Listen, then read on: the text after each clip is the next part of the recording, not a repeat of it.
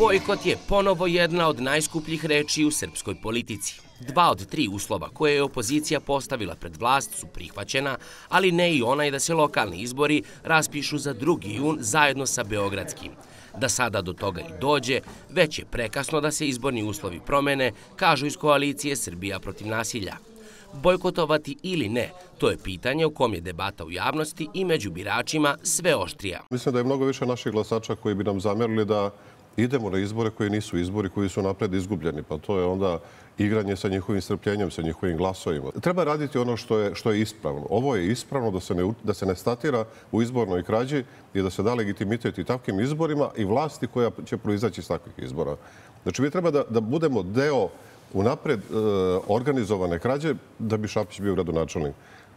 Pa ako misle da je da je jedino to moguće rešenje, onda on možda bude gradonačelnik i bez nas, ali to nije, to nije niti je grad, niti je gradonačelnik, niti su izbori. Oštra polemika vođena je sinoć i u utisku nedelje o tome od čega je veća šteta, od bojkota izbora ako se ima na umu iskustvo iz 2020. godine ili od izlaska na izbore pod nefer uslovima.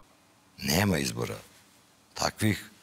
A oni koji su prava opozicija na takve izbore neće izaći, to će biti naš čin borbe. Uradit ćemo sve da se izborni uslovi promene. U ovom trenutku očekujemo da nas građani u tome podrže, zato što na ovim izborima, kad bismo sad izašli, čak i u formatu koji sam se ja zalagao već meseci nešto dana, u sve ove uslove, ne vidim kako bi mogla volja građana da opet ne bude pokradena. Kako bi onda bojkot mogao da izgleda ovoga puta? Kad je da im pokažemo da vredimo nešto od ulice pa nadalje? Ovde na dve i po strane predlog mera šta raditi ovih meseci po dana. Šta je cilj? Pa Koja su sredstva?